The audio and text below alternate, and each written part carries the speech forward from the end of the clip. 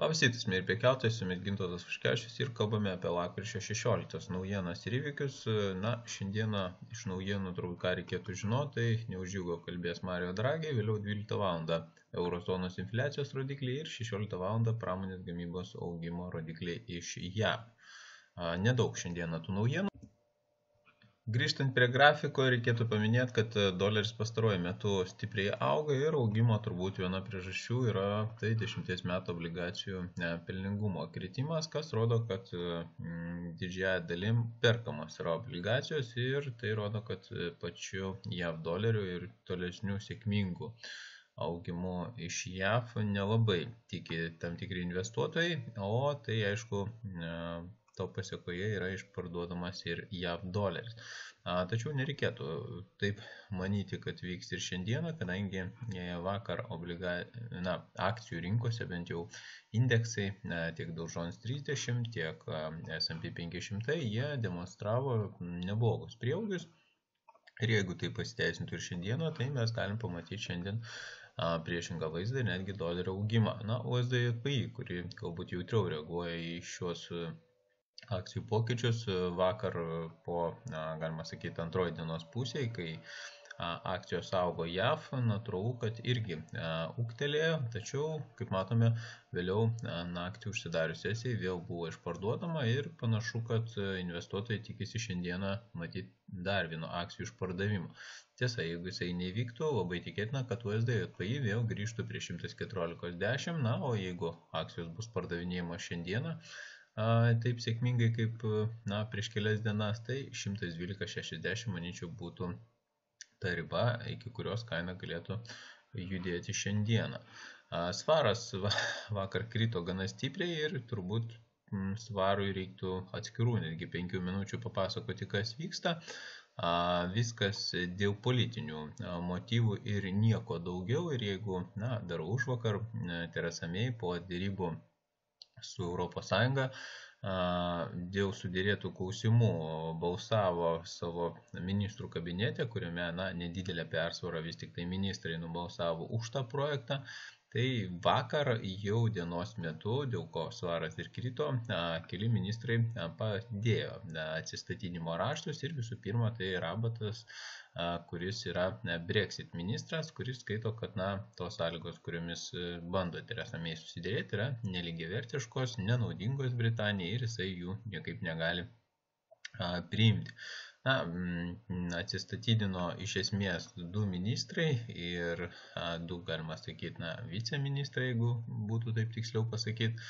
Tai vėlgi rodo, kad Teresos May pozicija nėra tokia stabili, kaip atrodytų ir Teresa May tikriausiai bus labai sunku tą projektą visą prastumti parlamento balsavimą, nes na, ministrų pritarimo tikriausiai neužtenka, reikėtų dar, kad ir parlamentas už tai prabalsuotų, o parlamente, aišku, nuotaikų neigiamų irgi yra pakankamai daug ir jeigu iš tikrųjų nebus prabalsuotų už tą projektą, tai gali būti, kad vėl visos darybos turės būti deramas iš naujo, o laikas eina ir svaras veikiausiai dėl tokių priežasčių gali kristi daug žemiau negu buvo nukritęs, tarkim, kad ir rūpiučio mėnesį.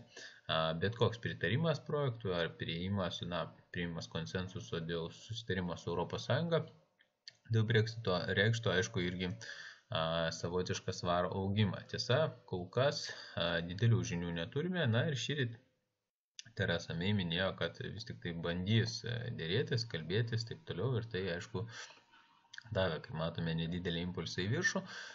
Tiesa, ši valiutinė pora iš esmės turbūt mažiausiai yra prognozuojama, kadangi Brexit e, motyvai gali reikšti net ir iki Teresos May atsistatydimo ar panašiai.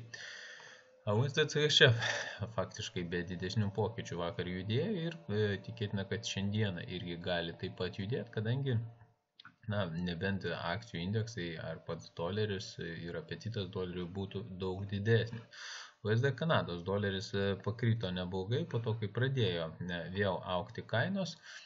Naftos kainos turiuomenį ir jau galim sakyti, kad naftos kainos nuo beveik 55, biški netgi žemiau kaina buvo, o 55 dolerių pakilo iki 57, 36, na ir mes matome natūraliai čia lygiai tokį patį apsisukimą. Ir jei naftos kainos toliau galėtų aukti, tai manyčiau viskas, na, bent jau šiandieną, mes turim daug šansų pasiekti kainą 131, o po to galbūt net ir 13050 ar 1300.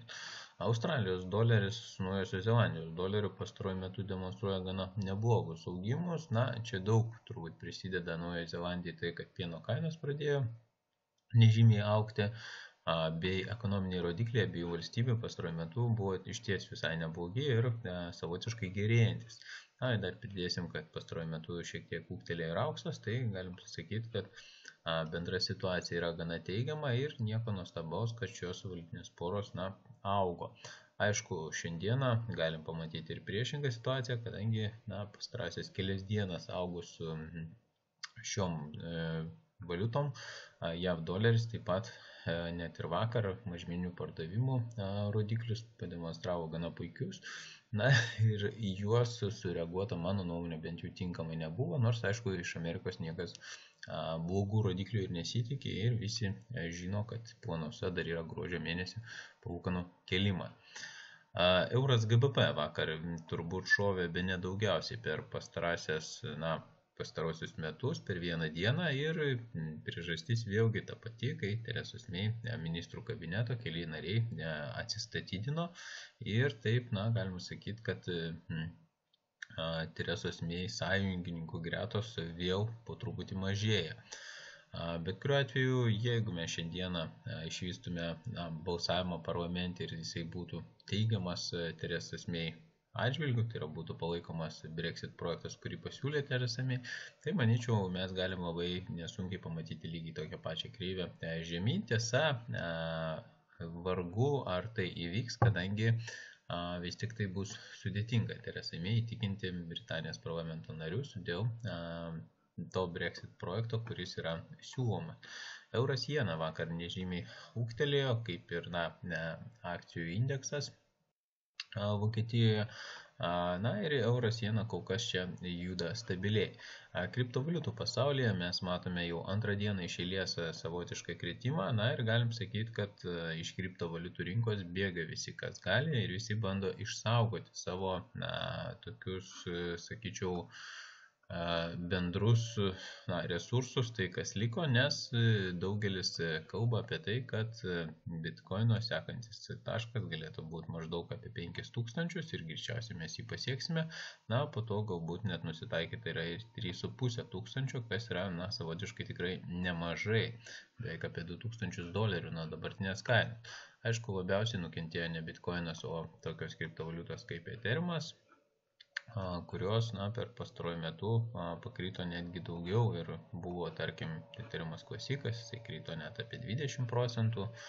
Tačiau buvo kriptovaliutų, kurios galbūt net net nuino savo žemumų ir todėl, kaip matome, ne visos kriptovaliutos taip stipriai nukrito, kaip tarkim Bitcoinas ar tas pats Ethereum klasikas. Bet kuriuo atveju tendencijos yra kol kas liūdnos, krintančios ir aišku, tai kad na, buvo išpieštas tas krintantis trikampis, tą tendenciją jisai tik tai ir tvirtino. Ko tikėtis, ar dabar reikėtų pirkti ar ne, na, čia turbūt toks retorinis klausimas. Viena vertus, pats didžiausias išpardavimas buvo vieno neaktyvaus, neaktyvios, galima sakyti, piniginės, kurioje parduota na, milijonės sumos bitkoinų. Ir aš turiu menį doleris ekvivalentė milijoninės sumos ir natūralu, kad tai iššaukia tą na, kritimą. Antra vertus, jeigu mes stebėsime pastarojo pusmečio rezultatus, tai galim sakyti, kad bitkoinas pirmą kartą per paskutinius metus a, nukrito žemiau 5800 ribos, Antras dalykas tai, kad na, pardavėjų pastoviai vis daugėjo ir kaip matome kainai na, iš pirkėjo pusės vis buvo neleidžiama atkilti aukščiau, tai yra jinai kildavo žemiau ir žemiau. Na, o pardavėjų, kaip sakoma, gretos jų, tai yra pirkėjų gretos jų nedaugėjo ir, na, pasiekus eilinį kartą 6000 ribą ar 5800 tiesiog neužteko pirkėjų ir todėl kaina buvo pramušta žemyn. Techniškai veikiausiai artimiausiu metu mes galim pamatyti dar žemesnės kainas, Na, o tie, kurie galvoja na, uždirbti iš bitkoino, tarkim, atšaukimo ar panašiai, sakyčiau, turėtumėte elgtis atsargiai, todėl kad na, nukristi iki 3,5 tūkstančio tikrai nėra sudėtinga, žinant, kad na, pirkėjų šiuo metu yra tikrai labai mažas skaičius. Kągi tiek būtų šiandienai, visiems linkiu geros prekybos ir sakau iki.